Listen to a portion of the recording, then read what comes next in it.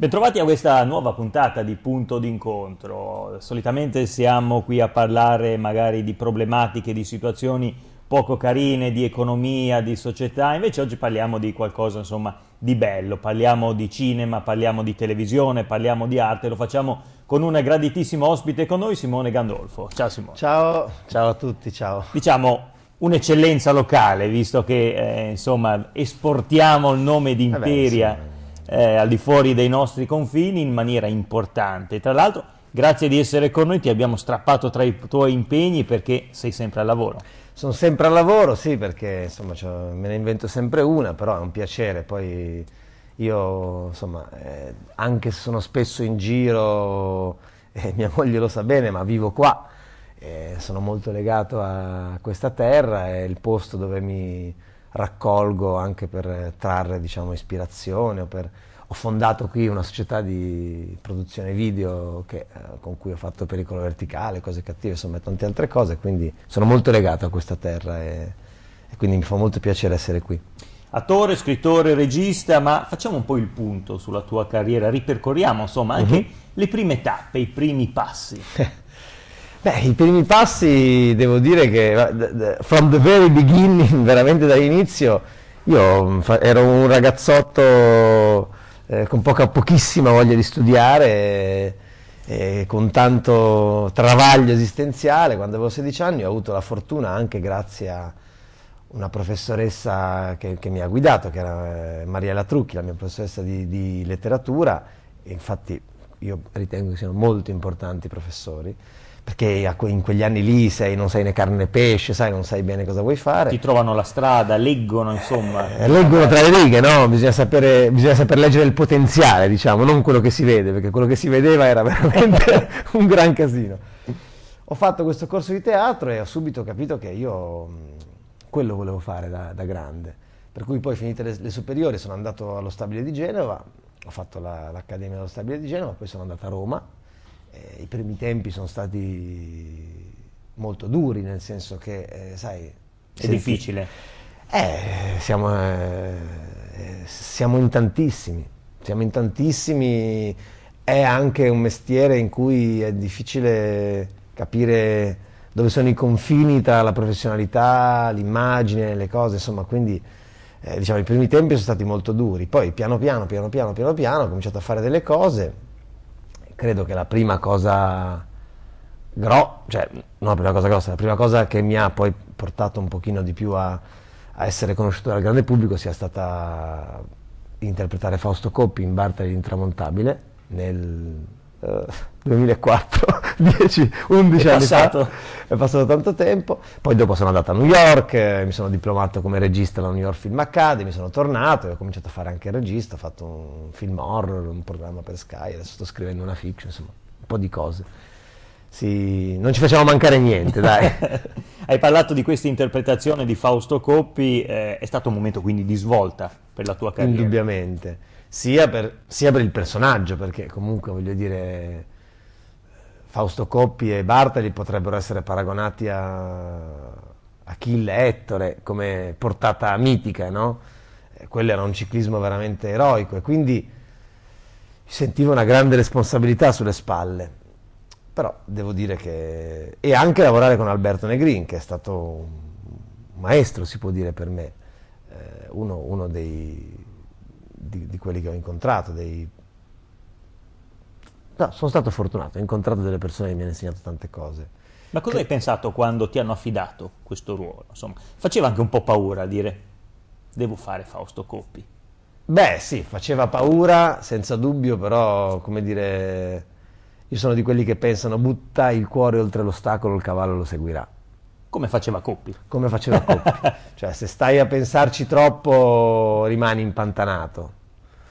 Poi, con l'età, ho imparato a bilanciare meglio, come dire, cuore, coraggio e pensiero, perché anche la, a volte anche fermarsi, fermare le bocce e, e, e fare un po' di analisi è, è utile, però non, non, deve, non, deve, non deve non deve, non, non deve, limitarti, bisogna sempre avere il gusto del, del gioco e della sfida, se no perde tutto Se no non vai avanti. Tra l'altro, piccola curiosità, eh, per interpretare Fausto Coppi ti sei dovuto anche allenare. Sì, abbiamo fatto io e Favino quasi 6.000 km in bicicletta per allenarci.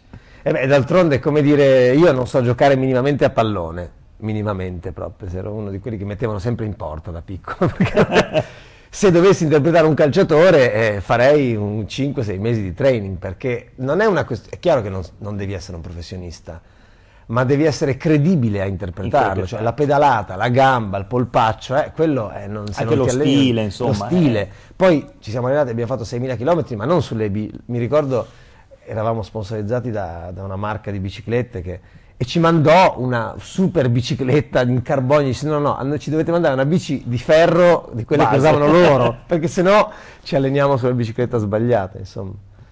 E, quindi insomma, è stato un po' il, primo riconoscimento, poi da lì... Lo, lo hai rifatto il ciclista. Ho rifatto, ho rifatto Girardengo, sì sì sì, ho fatto Girardengo, ma Girardengo era chiaramente era un grandissimo ciclista, ma il, il focus del film era più sull'amicizia presunta tale con, eh, Col bandito. col bandito. E invece Coppia e Bartoli era proprio un film sulla sfida sportiva di loro due. Cioè, l'altro Girardengo eri assieme a Fiorello. Fiorello, Beppe Fiorello, che insomma è grande professionista. E, e poi ha col- ho cominciato a... Ho, scoperto che, inve- che in realtà da grande non volevo fare solo l'attore, ma volevo fare anche il regista e, e la- l'autore insomma, te- televisivo, cinematografico, lo sceneggiatore, e quindi ho, cominciato a fare anche quello, insomma. Che sono due cose sì che si toccano, però diverse, insomma. Sono molto diverse. Diciamo Sono che... nello stesso mondo, ma È come fare il portiere o l'attaccante. Giochi tutti e due a calcio, magari giochi anche nella stessa squadra, però insomma uno prende la palla con le mani e l'altro con i piedi. Ecco, diciamo. Quindi sì. cosa ti piace di più? Ma se devo essere sincero, a me piace di più fare il regista perché eh, sei l'att- l'attore è come un centometrista. Cioè, arriva in un momento, deve fare la sua performance, deve essere perfetta perché tutta la macchina che è stata costruita intorno ruota intorno a lui in quel momento lì, però poi se ne va. Cioè, è un, un lavoro molto, appunto, dai 100 metri, no? 10 secondi alla massima velocità. Invece il regista è fare la maratona, cioè tu sei, da- sei il primo che c'è e l'ultimo che se ne va. E quindi a me che io sono molto, a me piacciono molto mh, i rapporti umani, creare anche un gruppo di lavoro, no? fare in modo che la vita professionale si mischi anche con quella, con quella privata, per cui cresci, tutti gli incontri che fai nel lavoro ti fanno crescere, cioè se, se no, eh, cioè questa è una grande possibilità che mi dà il mio lavoro, cioè di conoscere persone di valore, eh, aumentare di valore anch'io, valore intendo in senso morale, in senso etico, anche perché quello che poi trasmetti è quello che sei, non puoi trasmettere qualcosa, almeno io non credo che tu possa trasmettere qualcosa di diverso da quello che sei.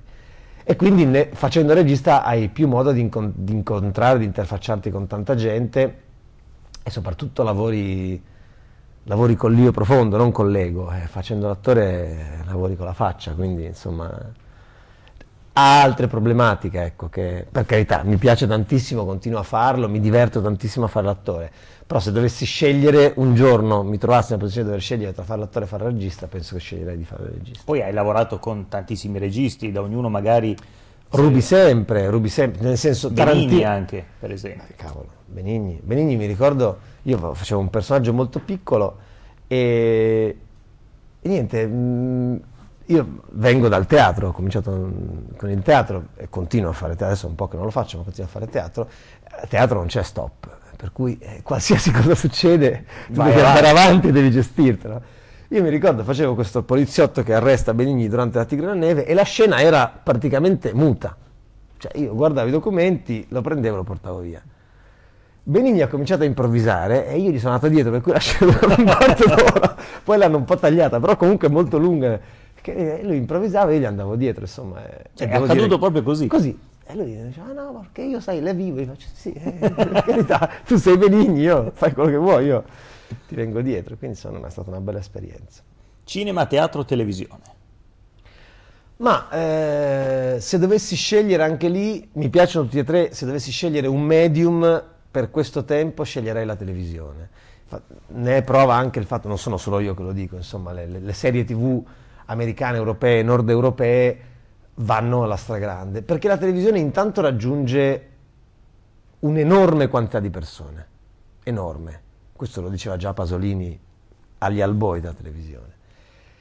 E questo è il mio personalissimo mm, punto di vista, cioè secondo me la, la, nostra società ha bisogno di tragedia, ma non di tragedia nel senso di cose brutte che accadono, di archetipi tragici, nel senso si è un po' perso e, e, e la, i problemi che ha la nostra società derivano da quello, secondo me, il concetto di rito, il concetto di archetipo, il concetto di mito. Mito inteso in senso eh, evento, persona, figura fondante cui, attorno alla quale si aggregano società, no? le ideologie, la religione, i partiti politici. Adesso siamo nella, nella, società liquida in cui tutti dicono tutto il contrario di tutto, dopo un secondo un'altra cosa.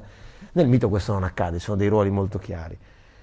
E la televisione è molto più adatta per fare questo, le serie tv sono molto più adatte, sono molto più, più vicine a quello che era il romanzo d'appendice, cioè se tu pensi che Guerra e Pace, Delitto e Castigo sono usciti a puntate sulle riviste, e tu una cosa così con un film non la puoi fare perché un film, per quanto lungo sia, dura tre ore. Certo. Una serie tv, intanto hai la serialità, quindi hai, una, hai, la possibilità di indagare di più questo meccanismo che è quello che interessa a me. Sei anche uno di casa quando sei in una serie televisiva. Sì. Nel cinema sei uno che la gente va fuori casa per vedere. Esatto, secondo me, come dire, lo switch che bisogna ancora fare è passare, se no la televisione generalista morirà, è che la, le persone scelgano cosa vedere. Il concetto della televisione generalista è che la televisione è accesa e la gente la guarda. Però così si degrada completamente la capacità di, di, attenzione e di percepire le cose belle della gente, perché se tu, se la casalinga deve capire quello che tu fai mentre fai il sugo intanto parla col marito, capisci che il significato deve essere molto molto semplice, eh sì. no? Invece, per esempio, le, le, le, serie americane, ma anche le serie che fa Sky, non lo so, Gomorra, che infatti è una serie bellissima, è stata premiata in 64 paesi, romanzo criminale, per dire quelle italiane, ma le nuove serie danesi, le serie americane, la gente sceglie di vederle. E quindi, come dire, c'è... Eh, però, è vero, sei uno di casa, cioè l'approfondimento e l'empatia che tu riesci ad avere con un personaggio in una serie tv è molto maggiore che in un film. È come se tu quando vai a vedere un film in qualche modo cercassi un concetto e una storia. Quando tu guardi una serie tv cerchi un'appartenenza, cioè cerchi di identificarti con l'eroe che è il protagonista della serie, positivo o negativo che Ti sia. Ti vai a immedesimare. Ti vai a immedesimare, no? E quindi secondo me il processo catartico, cioè quello che tu ne puoi portare via, quello che è, è di più, cioè puoi riflettere di più anche su quello che è la tua vita grazie a una serie. Questo è insomma, il mio punto di vista, poi magari altri dicono altre cose. Poi hai preso parte a serie anche di grande successo, sì, i polizieschi sì. per esempio. Sì, sì, certo, certo, no, no, eh, io sono, ma, come dire, e poi credo che soprattutto per com'è il meccanismo in Italia ci sia più bisogno perché eh, gli autori, quelli che vengono definiti gli autori in Italia, hanno abbandonato il pubblico 40 anni fa, hanno abbandonato il pubblico chiudendosi nella loro piccola riserva indiana, facendo film per pochi, interamente finanziati dallo Stato. Io non sono un, un fan del finanziamento, lo, io non credo che lo Stato debba entrare in qualsiasi ambito culturale, cioè dovrebbe finanziare Pompei indubbiamente perché non può autopagarsi ed è patrimonio dell'umanità, ma invece l'intrattenimento dovrebbe autopagarsi come succede in Inghilterra, come succede in America. Eh, questo che cosa ha causato? Il fatto che gli intellettuali dell'epoca abdicassero al ruolo dell'intellettuale che è di stare con la gente e fare un po' da faro, no? che eh, la televisione commerciale diventasse quello che è, insomma, nani, ballerine, cotillon, che per carità va bene anche quello, ma solo quello, solo quello è un problema. È una limitazione. È un, è un, problema, nel senso è un problema sociale diventa, perché poi la gente ha, ha quell'orizzonte lì. E e quindi sogna di meno, è meno creativa, eh, trova meno soluzioni ai problemi, alle crisi, che, vabbè, alla crisi italiana ma mondiale che stiamo vivendo. No?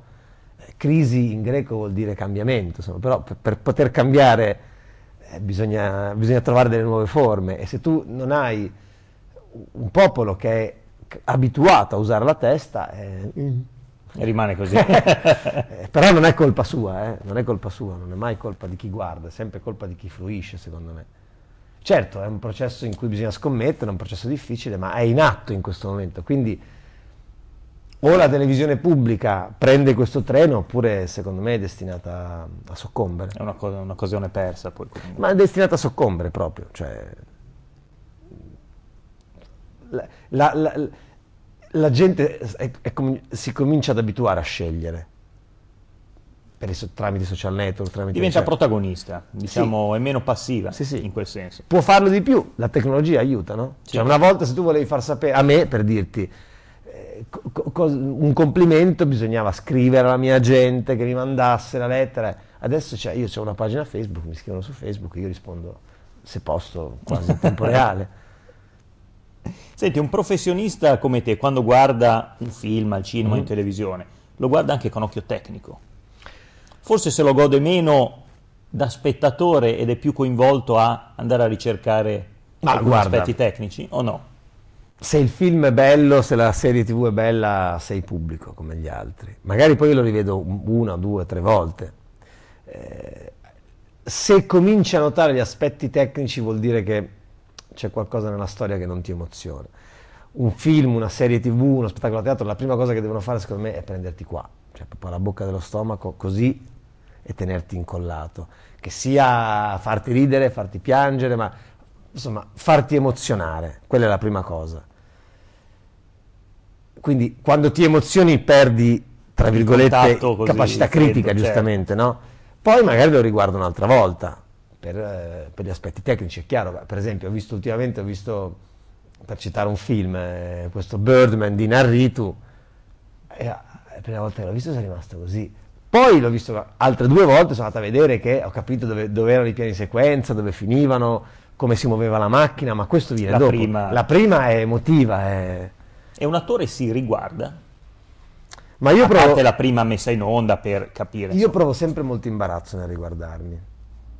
Eh, agli attori che lavorano con me quando faccio regista non gli consento di guardarsi mentre giriamo, perché secondo me un attore si... quando si riguarda era, sono rari, pochissimi gli attori e sono quelli che hanno, lo fanno da 50 anni, cioè De Niro forse riesce a essere oggettivo. Ma quando tu ti riguardi, la prima cosa che vedi, dici Madonna che naso che ho, Madonna ma che, ma, quale, ma che, voce, perché tu ti, sei abituato a sentirti all'esterno e a vederti sempre rispetto a una prospettiva. Questo ti distrae dal lavoro. Cioè questo non è il tuo lavoro, non è mettersi la crema giusta a fare l'attore, fare l'attore è interpretare. Allora tutto quello che ti distrae dall'immedesimazione, dal e, e, dal credere, dall'entrare dentro quel personaggio è nocivo e secondo me riguardarsi è nocivo. Quando va in onda, sì, uno si riguarda, anche se secondo me è strano, il processo di apprendimento di un attore è molto strano. Io non ne ho mai imparato dagli, dai miei errori perché mi sono visto e ho visto che sbagliavo. Ho sempre imparato dal giudizio degli altri, ma non necessariamente il giudizio, ah, tu lì hai sbagliato perché, anche il giudizio di una persona della strada, tra virgolette, che ti dice, ah, ma lì mi hai emozionato, là no, eh, lì tu capisci. È un processo di apprendimento... Se sei riuscito a trasmettere sì, qualcosa. sei riuscito a trasmettere, perché poi è quello, cioè non sempre come tu ti percepisci è corrispondente a come gli altri ti percepiscono e tu devi lavorare su come gli altri ti percepiscono, non come tu ti percepisci. Eh sì, perché poi il risultato perché va lì. Il risultato eh. va lì, cioè, lo fai per te, lo fai per loro. Senti, parliamo del presente su cosa stai lavorando e poi del futuro, insomma, quali possono essere i progetti. Eh, io sto lavorando, sto scrivendo, quest'anno insomma ho lavorato meno come attore, più come autore regista, sto scrivendo um, un, uh, il, un, soggetto per una serie tv ambientata nel mondo dell'elisoccorso, che frequento ormai da un po' perché ho fatto un programma Factor che si chiama Pericolo Verticale, che è andato su Sky, è andato molto bene, per una grossa casa di produzione sto, sto, siamo in fase di sviluppo, stiamo scrivendo il soggetto. Ho scritto un film eh, tutto ambientato a Imperia, che chissà mai se riuscirò a fare, però insomma... Già finito, scritto. Cioè scritto, pronto. sì, sì, bisogna no. girarlo, bisogna, girar, bisogna trovare i soldi, che è, quello, è lo scoglio più difficile. Tutto ambientato a Imperia. Tutto ambientato a Imperia, sì. Una storia che è successa, tratto da una storia vera, una storia che è successa a mia moglie. Mia moglie fa l'avvocato, è un avvocato del Foro d'Imperia. E quando mi ha raccontato questa storia, è liberamente ispirata naturalmente, Sì, non certo, è... eh, insomma, nomi, eccetera. chiaro. no, ma anche la vicenda, è- diciamo, i contorni sono l'ispirazione, ecco. Quando me l'ha raccontato ho detto, cavolo, quello sarebbe un- una bella storia da raccontare. E spero che, insomma, adesso sto a un appuntamento proprio a fine mese con una produzione di Roma, eh, con la Film Commission, sono già, Film Commission Liguria, in cui, ahimè, la provincia di Imperia non è dentro, perché non ha voluto non esserci, quindi potrebbe essere che il film su Imperia venga ambientato alla Spezia, Però, però insomma io spero che di sensibilizzare la mia città su treni che sarebbe meglio non perdere, però poi insomma io non faccio l'amministratore, faccio l'artista, l'artigiano e quindi è meglio che posso solo dare dei consigli, ecco. Però diciamo queste sono le due cose. E per il futuro mh, per il futuro sì, io ho dei progetti come, come autore, come regista e come attore, boh, insomma, ho fatto dei provini, vediamo come, come va avanti, però su quelli sai vige la segretezza, eh beh, finché certo. non hai firmato non si dice nulla. niente. Parlavamo di Imperia, com'è il tuo rapporto con eh, la città? Come la vedi? Ma eh, il mio rapporto con la città di Imperia è molto stretto, naturalmente, perché insomma ho vissuto dieci anni fuori, poi eh, mi sono sposato con una ragazza di qua e come si dice, eh, sarà che si dice moglie buoi dei paesi tuoi, però insomma non, è che, non, era, non, ero, non era la prima ragazza che avevo quando, mi quando ho conosciuto mia moglie, quindi se ho scelto lei, chiaramente non è che l'ho scelta perché è di Imperia, l'ho scelta perché la amo e perché Però vuol dire che il legame... però il legame è forte, io ho un legame molto forte con questa terra qua.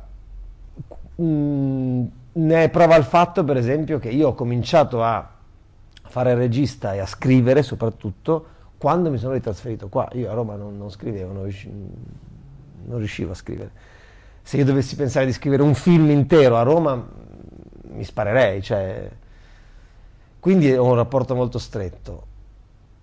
Penso che sia un territorio difficilissimo da amministrare perché, perché non ha un'anima, perché è stata, è stata una città industriale quando sembrava che l'Italia dovesse essere un, un- un paese industriale, ora non lo è più, oggettivamente non lo è più perché non può esserlo, perché, perché il territorio che abbiamo non consente di competere con altri territori molto più semplici e perché non c'è abbastanza attenzione secondo me a puntare cioè l'olio che viene da Imperia dovrebbe, dovrebbe essere dovrebbe costare 10 volte là il resto e bisognerebbe convincere la gente che, deve comprare, che se vuole comprare deve comprare quello lì perché si Perché fa solo merita. qui perché lo puoi fare solo qui no?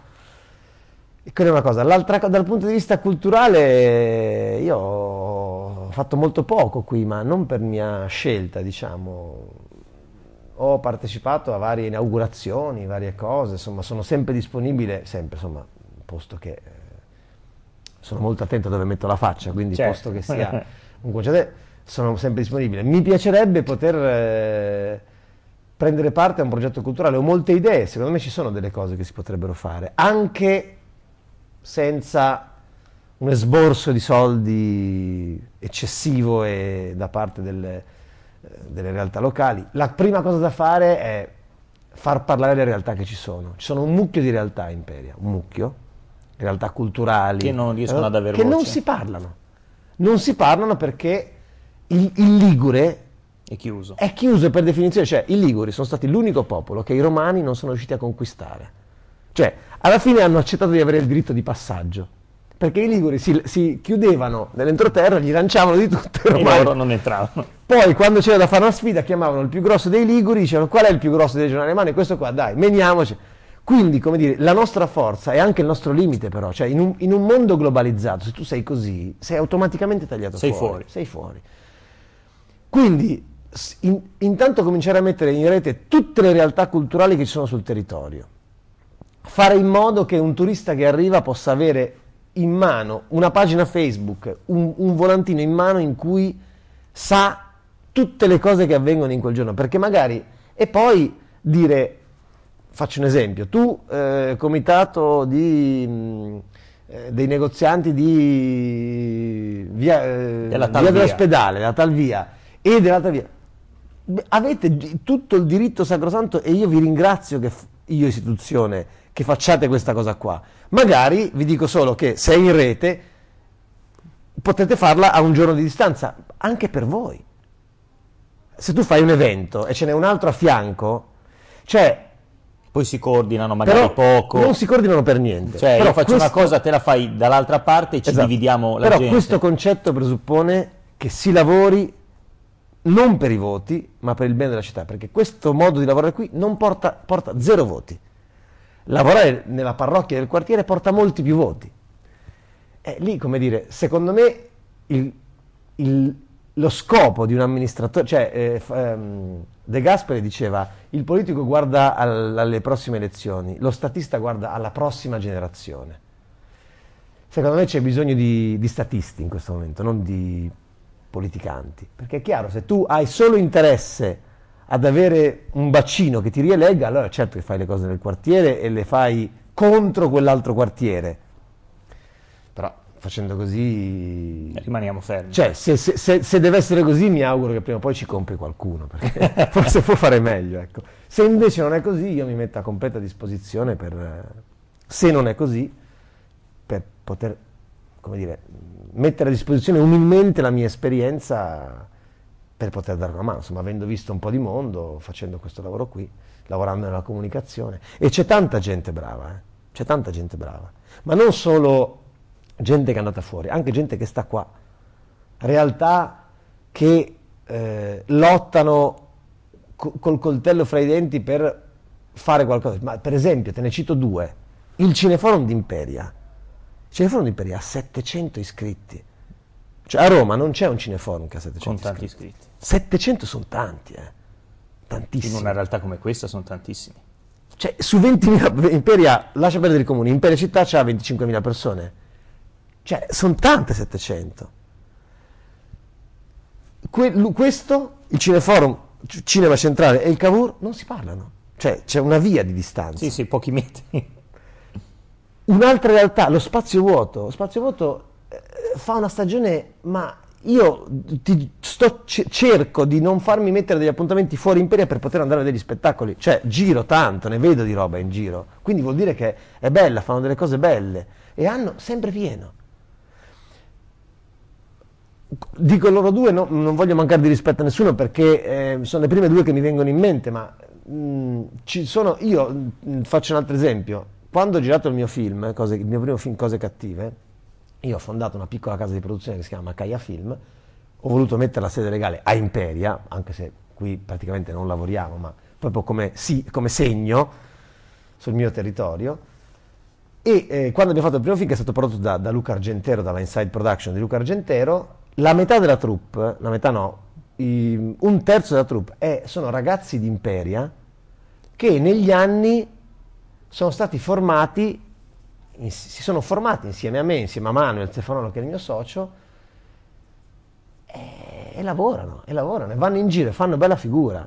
Andrea Languasco, che è un ragazzo di Imperia, che eh, siamo, cioè, siamo professionalmente cresciuti insieme, io quando eh, sono stato testimone al Canon eh, per la nuova campagna Canon Mondo dell'anno scorso e il fotografo ha richiamato lui per lavorare con gli altri testimoni al, al di là di me perché lavora bene, io sono stato fiero, cioè c'è la gente. È un brava orgoglio, È un certo. orgoglio.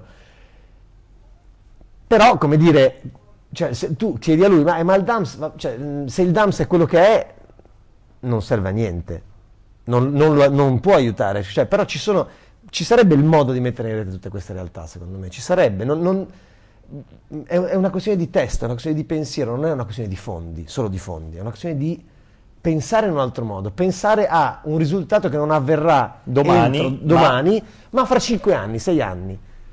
Ma io ti dico, anche se mi dicessero, guarda, non lo vedrai tu, ma ci sarà, ma io mh, cioè, lo farei con grande gioia, anche perché poi uno non si può lamentare se poi i ragazzi non hanno prospettiva, bivaccano, eh, bisogna dargli la prospettiva, cioè, poi se non la prendono uno gli dà gli schiaffi sulla testa, ma prima dargliela. Prima devi dare l'occasione. Perché se non gli hai l'occasione, cioè, poverini, come, fa- come si fa a prendersela con l'one, insomma, no? Io mh, lo dico perché, cioè, tra quelli che bivaccano, eh, potevo esserci anch'io, se non avessi avuto qualcuno che, mi, mh, che in quell'età lì, in cui non né carne né pesce, mi ha spinto a Quella professoressa. quella professoressa. famosa. Per cui, come dire, bisogna fare così, secondo me. Poi adesso io detto, cioè, avrei anche delle idee molto concrete su come farlo, ma forse insomma, non abbiamo il tempo di esprimerle, però cioè, ci sono delle cose che si possono fare. Beh, devo dire che siamo partiti ripercorrendo la tua carriera, televisione, teatro, cinema e poi siamo arrivati insomma, a parlare della realtà locale con questa analisi molto profonda, molto seria e importante. Noi ti ringraziamo per essere stato con noi e che dire, buon lavoro grazie per tutti i tuoi progetti. Grazie a voi e un saluto a tutti e grazie mille e grazie per il lavoro che fate. Grazie a tutti per la cordiale attenzione, appuntamento alla prossima puntata, arrivederci.